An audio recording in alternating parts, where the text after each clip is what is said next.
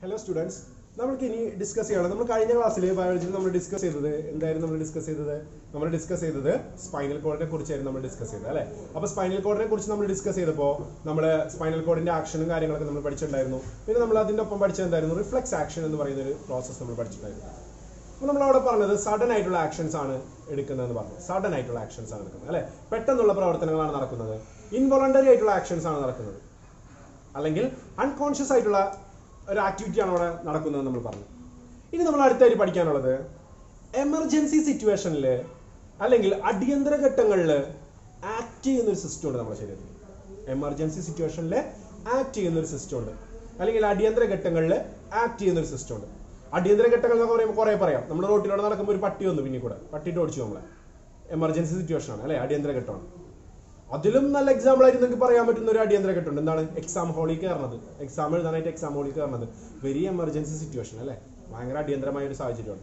അപ്പൊ ഇങ്ങനെയുള്ള എമർജൻസി സിറ്റുവേഷനിൽ അല്ലെങ്കിൽ അടിയന്തര സാഹചര്യങ്ങളിൽ നമ്മുടെ ശരീരത്തിൽ പ്രവർത്തിക്കുന്ന ഒരു സിസ്റ്റം ഉണ്ട്. അല്ലെങ്കിൽ നമ്മുടെ ശരീരത്തിൽ പ്രവർത്തിക്കുന്ന ഒരു ഒരു ഭാഗമുണ്ട്.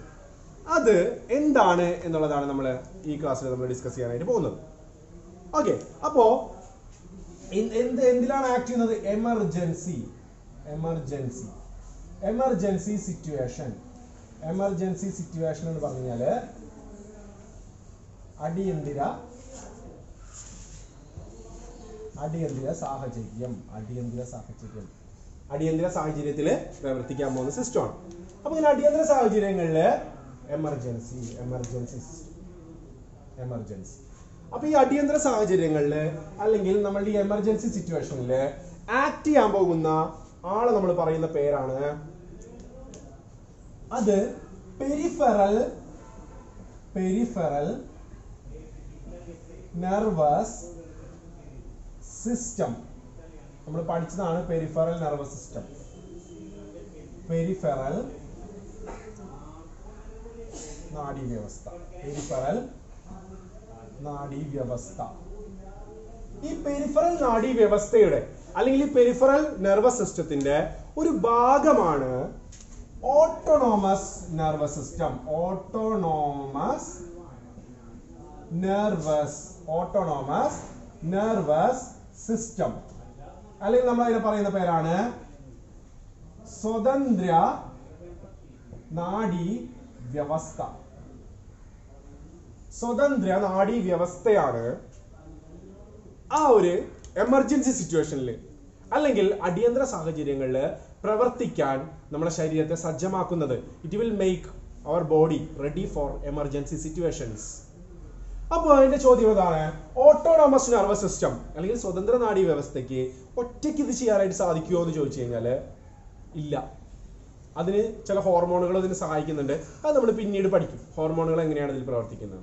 ഇനി ഈ പ്രവർത്തനങ്ങൾ ചെയ്യാനായിട്ട് ഓട്ടോണോമസ് നെർവസ് സിസ്റ്റം അല്ലെങ്കിൽ സ്വതന്ത്ര നാഡി വ്യവസ്ഥയെ സഹായിക്കുന്നത് മറ്റു രണ്ട് വ്യവസ്ഥകളാണ്. അല്ലെങ്കിൽ മറ്റു രണ്ട് സിസ്റ്റമുകളാണ് അതിന് സഹായിക്കുന്നത്. അതിന്റെ പേര് ഞാൻ മെൻഷൻ ചെയ്യാണ്. അതിന്റെ ഒന്നാമത്തേന് നമ്മൾ പറയുന്ന പേരാണ് sympathetic sympathetic nervous system sympathetic nervous system നമ്മളതിന് മലയാളത്തിൽ പറയുന്നത് എന്താണ്? സിംപത്തറ്റിക്. സിംപത്തറ്റിക് വ്യവസ്ഥ.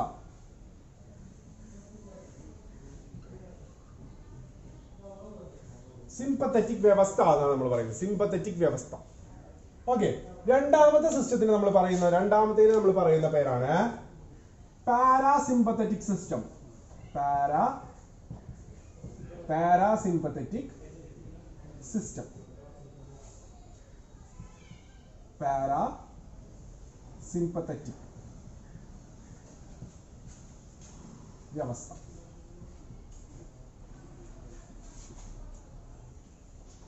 Sympathetic or sympathetic? രണ്ടും പറയാം കേട്ടോ. സിംപത്തറ്റിക്കും പറയാം നമുക്ക് സിംപത്തറ്റിക്. സിംപത്തറ്റിക്കും എന്ന് വേണമെങ്കിൽ പറയാം. നമുക്ക് രണ്ട് രീതിയിൽ നമുക്ക് പറയാം. സിംപത്തറ്റിക് വ്യവസ്ഥ അല്ലെങ്കിൽ പാരാസിംപത്തറ്റിക് വ്യവസ്ഥ എന്നാണ് നമ്മൾ പറയാ. Sympathetic nervous system or parasympathetic system or simply parasympathetic അല്ലെങ്കിൽ സിംപത്തറ്റിക് സിസ്റ്റം എന്ന് നമ്മൾ പറഞ്ഞാൽ മതി കേട്ടോ. സിംപിളി സിംപത്തറ്റിക് സിസ്റ്റം അപ്പൊ ഇതാണ് ഓട്ടോണോമസ് നെർവസ് സിസ്റ്റത്തിന്റെ അല്ലെങ്കിൽ സ്വതന്ത്ര നാഡീ വ്യവസ്ഥയുടെ രണ്ട് ഭാഗങ്ങളാണ് ഈ പറയുന്ന സിംപത്തറ്റിക് വ്യവസ്ഥയും പാരാസിമ്പത്തറ്റിക് വ്യവസ്ഥയും. രണ്ടെണ്ണം ഓക്കെ ഇനി നമ്മൾ ചോദിക്കാൻ ഞാൻ പറയാൻ പോകുന്ന കാര്യം എന്താണെന്ന് വെച്ചാൽ ഇതെങ്ങനെയാണ് നമ്മുടെ ശരീരത്തിലെ എമർജൻസി സിറ്റുവേഷനെ കൺട്രോൾ ചെയ്യുന്നത്? നിങ്ങൾ തന്നെ ചിന്തിച്ചു. നോക്കാം നിങ്ങൾ എക്സാം ഹോളിലേക്ക് കയറി എന്ന് വിചാരിക്കും. നിങ്ങൾ ഏറ്റവും നല്ല അടിയന്തര സാഹചര്യമാണ്. എമർജൻസി സിറ്റുവേഷൻ എക്സാം ഹോളിൽ കയറിയിട്ടുള്ള നിങ്ങളുടെ കാര്യങ്ങൾ. അപ്പോൾ നിങ്ങൾ എക്സാം ഹോളിലേക്ക് കയറി. നിങ്ങൾ നിങ്ങളുടെ സീറ്റിലൊക്കെ പോയിരുന്നു. ആ സമയത്ത് ടീച്ചർ ക്വസ്റ്റ്യൻ പേപ്പർ ഇങ്ങനെ തന്ന് കൊടുത്തുകൊണ്ടിരിക്കുക. ഫ്രണ്ടിലത്തെ ഫ്രണ്ടിൽ നിന്ന് ക്വസ്റ്റ്യൻ പേപ്പർ ഇങ്ങനെ കൊടുത്തുകൊണ്ടിരിക്കുക. പെട്ടെന്ന് നിങ്ങളുടെ ശരീരത്തിൽ കുറേ കാര്യം ഒരു ചേഞ്ചുകൾ ഇങ്ങനെ പെട്ടെന്ന് വരാനായിട്ട് തുടങ്ങും. ഓരോ ഭാഗങ്ങളിലും നിങ്ങൾക്ക് ഓരോ മാറ്റങ്ങൾ വരാനായിട്ട് തുടങ്ങും. ആ സമയത്ത് പ്രവർത്തിക്കുന്നത് അല്ലെങ്കിൽ എമർജൻസി സിറ്റുവേഷനിൽ ആ ഒരു പെർട്ടിക്കുലർ ടൈമിൽ പ്രവർത്തിക്കുന്നത് സിമ്പത്തറ്റിക് സിസ്റ്റമാണ് സിമ്പത്തറ്റിക് വ്യവസ്ഥയാണ്. ഓക്കെ ഇനി ടീച്ചർ ക്വസ്റ്റ്യൻ പേപ്പർ ഒക്കെ തന്നത് നിങ്ങളുടെ കയ്യിൽ ക്വസ്റ്റ്യൻ പേപ്പർ കിട്ടി. ക്വസ്റ്റ്യൻ പേപ്പർ കിട്ടിക്കഴിഞ്ഞപ്പോൾ നിങ്ങൾ നോക്കി ഹാവു നിങ്ങൾക്ക് അറിയണ ക്വസ്റ്റ്യൻസ് ആണ്. അപ്പൊ എന്ത് പറ്റി? നിങ്ങളായ അടിയന്തര സാഹചര്യം നിങ്ങൾ ഓവർകം ചെയ്തു. എമർജൻസി സിറ്റുവേഷൻ നിങ്ങൾ ഓവർകം ചെയ്തു. ഇനി നിങ്ങളുടെ ശരീരത്തിൽ നടന്നിരിക്കുന്ന പ്രവർത്തനങ്ങളെ മുഴുവൻ സാധാരണ രൂപത്തിലാക്കണ്ടേ? വേണം. അല്ലെ? നോർമൽ സ്റ്റേറ്റിലേക്ക് കൊണ്ടുവരണം നിങ്ങളുടെ ബോഡിനെ അതിനുവേണ്ടി ആക്ട് ചെയ്യുന്ന ആളെ പറയുന്ന പേരാണ് നമ്മൾ പാരാസിമ്പത്തറ്റിക് സിസ്റ്റം അല്ലെങ്കിൽ പാരാസിമ്പത്തറ്റിക് വ്യവസ്ഥ എന്നാണ് പറയുക അപ്പൊ എന്തൊക്കെ കാര്യങ്ങളാണ് ഇത് ചെയ്യുന്നത് എന്ന് ഞാൻ എന്റെ ശരീരം വെച്ച് തന്നെ ഞാൻ ടോപ്പ് ടു ബോട്ടം നിങ്ങൾക്ക് എക്സ്പ്ലെയിൻ ചെയ്ത് തരാം എന്തൊക്കെ സംഭവിക്കുന്നു. ഓക്കെ അപ്പൊ നോക്ക് നിങ്ങൾ ഏറ്റവും ആദ്യം നമ്മുടെ കണ്ണുകൾ നോക്കാം കണ്ണുകൾ. ഏറ്റവും മുകളിലുള്ള നമ്മുടെ കണ്ണുകളാണ്. അപ്പൊ കണ്ണുകൾക്ക് അല്ലെങ്കിൽ നമ്മുടെ പ്യൂപ്പിൾ നമ്മുടെ കൃഷ്ണമണി എന്ന് പറയുന്ന ഭാഗത്തിന് എന്തായിരിക്കും സംഭവിക്കുക? എമർജൻസി സിറ്റുവേഷൻ അല്ലെങ്കിൽ സിമ്പത്തറ്റിക് സിസ്റ്റം പ്രവർത്തിക്കുമ്പോൾ നമ്മളുടെ നമ്മളുടെ എന്താണ് പറയുക നമ്മുടെ പ്യൂപ്പിൾ പ്യൂപ്പിൾ വിൽ എന്താണ് പറയാ പ്യൂപ്പിൾ വിൽ ഡയലേറ്റ് എന്നാണ് പറയാ. പ്യൂപ്പിൾ വിൽ ഡയലേറ്റ് ഡയലേറ്റ് ചെയ്യാന്ന് പറഞ്ഞു കഴിഞ്ഞാൽ വികസിക്കും. കൃഷ്ണമണി എന്ത് സംഭവിക്കുന്നാണ് പറയുന്നത്? കൃഷ്ണമണി വികസിക്കും. നിങ്ങളൊന്ന് ആലോചിച്ച് നോക്കിയേ. നിങ്ങൾ നിങ്ങളെ പെട്ടെന്ന് ഒരു പട്ടിട്ട് ഓടിക്കുന്ന സമയത്ത് നമ്മളെ എമർജൻസി സിറ്റുവേഷനിൽ പെട്ട് നിങ്ങൾ ഓടുകയാണ്. ആ ടൈമിൽ സംഭവിക്കാൻ എന്തായിരിക്കും? കൃഷ്ണമണി വികസിക്കുകയാണ് ചെയ്യുക. പീപ്പിൾ വിൽ ഡയലേറ്റ് അപ്പൊ ഞാൻ നിങ്ങൾ എന്താ എന്താണ് സംഭവിക്കുന്നത്? ഇപ്പൊ തന്നെ പാരാസിമ്പത്തറ്റിക് വ്യവസ്ഥയിൽ എന്താണ് സംഭവിക്കുക നിങ്ങൾ ആലോചിക്കണം. നിങ്ങൾ അപ്പൊ തന്നെ ആലോചിക്കണം. ഇവിടെ പീപ്പിൾ ഡയലേറ്റ് ചെയ്യുകയാണെങ്കിൽ അവിടെ എന്തായിരിക്കും? പീപ്പിൾ വിൽ കോൺട്രാക്ട് കൃഷ്ണമണി ചുരുങ്ങാണ് ചെയ്യുക കേട്ടോ. ഞാൻ ഇവിടെ എഴുതുന്നില്ല ഇപ്പുറത്തെ കാര്യങ്ങൾ മാത്രമേ പറയുന്നുള്ളൂ. ഇപ്പുറത്തെ നിങ്ങൾ അണ്ടർസ്റ്റുഡ് ചെയ്യണം കേട്ടോ. ഇവിടെ പീപ്പിൾ ഡയലേറ്റ് ആണെങ്കിൽ ഇവിടെ പീപ്പിൾ കോൺട്രാക്ട് ആണ്. ഇവിടെ കൃഷ്ണമണി വികസിക്കുന്നതാണെങ്കിൽ ഇവിടെ എന്തായിരിക്കും? കൃഷ്ണമണി ചുരുങ്ങാണ് ചെയ്യാം. ഇനി നേരെ അടിയിലേക്ക് വരാം. നമ്മുടെ വായു. വായുവിൽ എന്തുണ്ട്? സലൈവ് ഉണ്ട്. ഉമിനീരുണ്ട്. സലൈവ പ്രൊഡക്ഷൻ ഡിക്രീസസ് ഇവിടെ എന്തായിരിക്കും സംഭവിക്കുക? ഉമിനീര് വറ്റുക ചെയ്യുക സലൈവ പ്രൊഡക്ഷൻ എന്തായിരിക്കും സംഭവിക്കുക? ഡിക്രീസ് ഡിക്രീസസ് അല്ലെങ്കിൽ ഉമിനീർ ഉൽപാദനം ഉമിനീർ ഉൽപാദനം കുറയുന്നു. ഉമിനീർ ഉൽപാദനം കുറയാണ് ചെയ്യുക. നേരപ്പുറത്ത് എന്തായിരിക്കും സംഭവിക്കുക? പാരാസിമ്പത്തറ്റിക് വ്യവസ്ഥ എന്തായിരിക്കും ചെയ്യുക? Saliva production sorry saliva production എന്തായിരിക്കും സംഭവിക്കുക? Increases saliva production increases. ഉമിനീർ ഉൽപാദനം കൂടുകയാണ് ചെയ്യുക. മനസ്സിലായോ? ഇനി അപ്പൊ നമ്മൾ രണ്ട് ഭാഗങ്ങൾ പറഞ്ഞു കണ്ണ് പറഞ്ഞു നമ്മളുടെ വായി പറഞ്ഞു. ഇനി നേരെ ഇരിക്കുക വന്നു കഴിഞ്ഞാൽ നമ്മുടെ ട്രക്കിയ. ട്രക്കിയ എന്ന് പറഞ്ഞു കഴിഞ്ഞാൽ ശ്വാസനാളം ട്രക്കിയ എന്ന് പറഞ്ഞു കഴിഞ്ഞാൽ ശ്വാസനാളം. നമ്മുടെ ട്രക്കിയ. ട്രക്കിയ എന്ന് പറയുന്ന ഭാഗം അല്ലെങ്കിൽ ശ്വാസനാളം trachea will expand trachea will expand expand ചെയ്യാന്ന് പറഞ്ഞാൽ എന്തായിരിക്കും? ശ്വാസനാളം.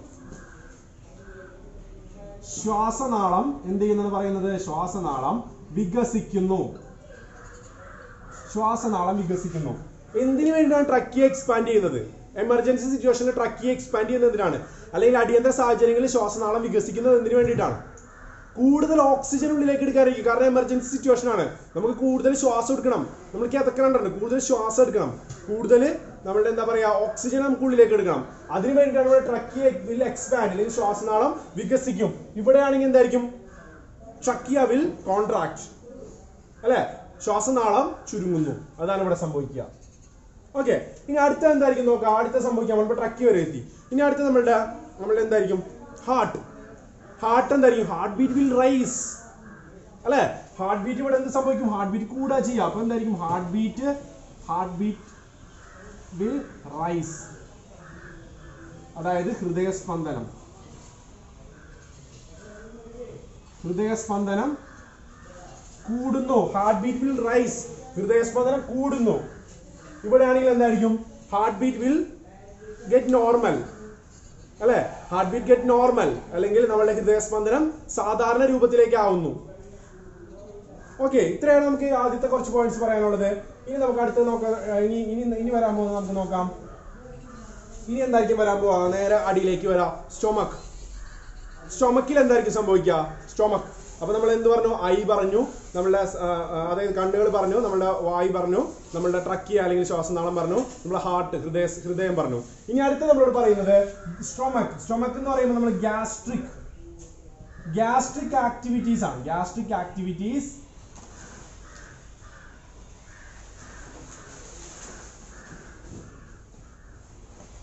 ഗ്യാസ്ട്രിക് ആക്ടിവിറ്റീസ് ആണ്.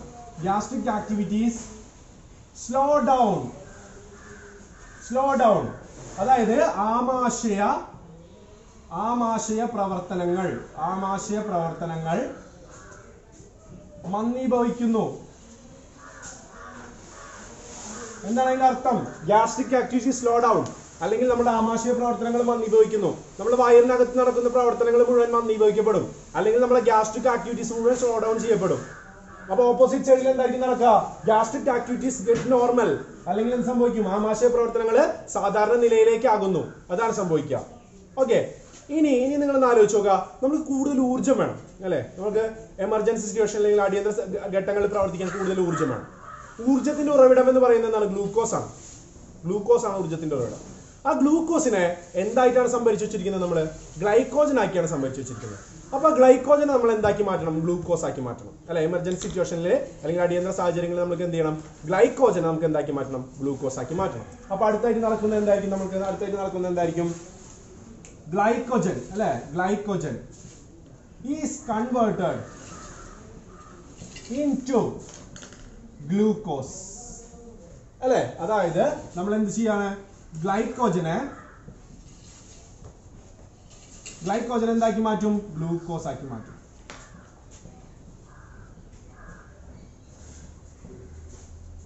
അപ്പുറത്ത് എന്തായിരിക്കും? നമ്മൾ എന്തായിരിക്കും അപ്പുറത്ത് ചെയ്യാം? ഗ്ലൂക്കോസിനെ തിരിച്ച് നമ്മൾ എന്താക്കി മാറ്റും? ഗ്ലൈക്കോജനാക്കി മാറ്റും ചെയ്യാം. മനസ്സിലായോ? അപ്പൊ ഇതാണ് നമ്മൾ പറയുന്നത്. അപ്പോ ഇത് എവിടെ വരെ? നമ്മുടെ സ്റ്റൊമക് ആക്ടിവിറ്റീസ് അല്ലെങ്കിൽ നമ്മുടെ ആമാശയ പ്രവർത്തനങ്ങൾ വരെയാണ് നമ്മൾ പറഞ്ഞു വെച്ചിരിക്കുന്നത്.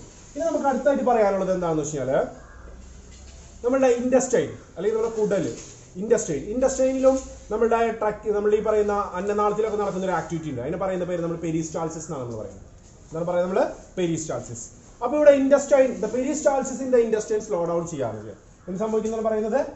Peristalsis peristalsis in the intestine. Slow down എന്താണ് സംഭവിക്കുക? നമ്മൾ പറഞ്ഞത് അന്നനാ സോറി അന്നനാളല്ലോ നമ്മൾ എന്താണ് കുടലിലെ അല്ലെ? കുടലിലെ പെരിസ്റ്റാൾസിസ് മന്ദീഭവിക്കുന്നു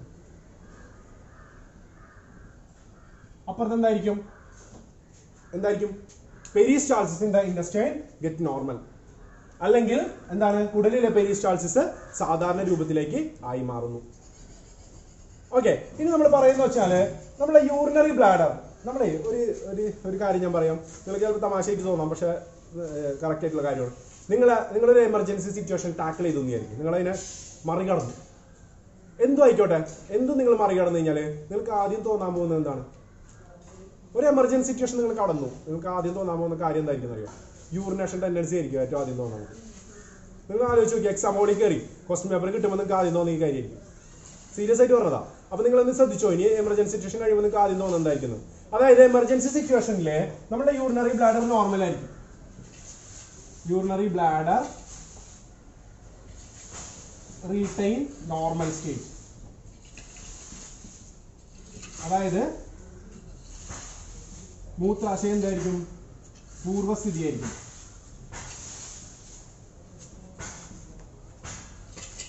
പക്ഷേ അത് കഴിയുമ്പോഴോ പാരാസിമ്പത്തറ്റിക് സിസ്റ്റം ആക്ട് ചെയ്യുമ്പോൾ എന്തായിരിക്കും? യൂറിനറി ബ്ലാഡർ ഗെറ്റ് കോൺട്രാക്ട് കണ്ടോ? അതായത് മൂത്രാശയം ചുരുങ്ങുക ചെയ്യുക. അപ്പൊ ആ സമയത്ത് നമുക്ക് യൂറിനേഷൻ ടെൻഡൻസി വരും. ടോയ്ലറ്റിൽ പോകാനുള്ള ടെൻഡൻസി വരും. മനസ്സിലായോ? അപ്പൊ ഇത്രയും കാര്യങ്ങളാണ് നമുക്ക് ഇതിൽ പഠിക്കാനുള്ളത്. നമ്മളപ്പോ എന്തൊക്കെ പറഞ്ഞു? ഒന്നുകൂടെ ഒരൊറ്റ പ്രാവശ്യം കൂടെ ഇതിനെ റിപ്പീറ്റ് ചെയ്ത് എന്താണ് പറഞ്ഞത് നമ്മൾ? നമ്മളുടെ എന്താണ് കൃഷ്ണമണിയാണ്. നമ്മളുടെ പീപ്പിൾ ഗെറ്റ് ഡയലൈറ്റ് കൃഷ്ണമണി ചുരുങ്ങുന്നു. അല്ലെ? രണ്ടാമത്തെ എന്താണ് നമ്മൾ പറഞ്ഞത്? എന്തായിരിക്കും പറഞ്ഞത്? Saliva production of saliva decreases എന്നിന്റെ ഉൽപാദനം കുറയുകയാണ് ചെയ്യുന്നത്. ട്രക്കിയ എക്സ്പാൻഡ് ശ്വാസനാളം വികസിക്കുകയാണ് ചെയ്യുന്നത്. ഹാർട്ട് ബീറ്റ് റൈസസ് അല്ലെ ഹൃദയ ഹൃദയസ്പന്ദന നിരക്ക് കൂടുന്നു. നെക്സ്റ്റ് പറഞ്ഞ എന്തായിരുന്നു? ഗ്യാസ്ട്രിക് ആക്ടിവിറ്റീസ് സ്ലോ ഡൗൺ ആമാശയ പ്രവർത്തനങ്ങൾ മന്ദീഭവിക്കുന്നു. നെക്സ്റ്റ് എന്നാണ് പറഞ്ഞത്? Glucose is converted into glycogen ഗ്ലൂക്കോസിനെ glycogen ആക്കി മാറ്റുന്നു. വൺ മോർ പോയിന്റ് ഒരു പോയിന്റ് കൂടെ നമ്മൾ പറയാൻ വിട്ടിട്ടുണ്ട്. ആ പോയിന്റ് കൂടെ ഞാൻ പറയാണ്. എന്താണെന്ന് വെച്ചാൽ hormone production hormone production hormone production increases hormone ഉൽപാദനം കൂടുന്നു. ഹോർമോൺ ഉൽപാദനം കൂടുന്നു. അവിടെയാണെങ്കിൽ എന്തായിരിക്കും? ഹോർമോൺ പ്രൊഡക്ഷൻ ഡിക്രീസസ് ഹോർമോൺ ഉൽപാദനം കുറയുന്നു. ഓക്കെ പിന്നെ നമ്മൾ പറഞ്ഞത് അപ്പൊ ഈ ഒരു പോയിന്റ് കൂടെ പറഞ്ഞു. പിന്നെ നമ്മൾ പറഞ്ഞത് എന്തായിരുന്നു? Glycogen is converted to glucose അല്ലെ? ഗ്ലൈക്കോജനെ ഗ്ലൂക്കോസ് ആക്കി മാറ്റുന്നു. Peristalsis in the intestine slow down അല്ലെ? അതായത് കുടലിൽ നടക്കുന്ന പെരീസ്റ്റാൾസിസ് മന്ദീഭവിക്കുന്നു. അപ്പുറത്തെ നിങ്ങൾ ഓർത്തിരിക്കണം കേട്ടോ. ലാസ്റ്റ് പറഞ്ഞ എന്തായിരുന്നു? Urinary bladder retain normal state മൂത്രാശയം പൂർവസ്ഥിതി പ്രാപിക്കുന്നു. അപ്പൊ ഇതാണ് നമുക്ക് എന്തിനെ കുറിച്ച് പഠിക്കാനുള്ളത്? സ്വതന്ത്ര നാഡീവ്യവസ്ഥ അല്ലെങ്കിൽ ഓട്ടോണോമസ് നെർവസ് സിസ്റ്റത്തെ കുറിച്ച് നമുക്ക് പറയാനുള്ളത്. ഇത് എപ്പോഴും എക്സാമിന് ചോദിക്കാറുണ്ട്. അങ്ങോട്ടും ഇങ്ങോട്ടും തന്നിട്ട് നിങ്ങളോട് കറക്റ്റ് ആയിട്ട് എഴുതാൻ ചോദിക്കും. എന്താണ് സിമ്പത്തറ്റിക് സിസ്റ്റത്തിന്റെ ആക്ടിവിറ്റി എന്താണ് പാരാസിമ്പത്തറ്റിക് സിസ്റ്റത്തിന്റെ ആക്ടിവിറ്റി എന്നുള്ള നിലയ്ക്ക് രണ്ടും തമ്മിൽ കമ്പയർ ചെയ്യാനായിട്ടൊക്കെ നിങ്ങളോട് എപ്പോഴും എക്സാമിന് ചോദിക്കുന്ന ഒരു ക്വസ്റ്റ്യൻ ആണ്. ഈ പറയുന്ന പെരിഫറൽ നെർവസ് സിസ്റ്റം അല്ലെങ്കിൽ ഓട്ടോണോമസ് സോറി അതിന്റെ ഭാഗമായ ഓട്ടോണോമസ് നെർവസ് സിസ്റ്റത്തെ കുറിച്ച് നമുക്ക് പഠിക്കാനുള്ളത്.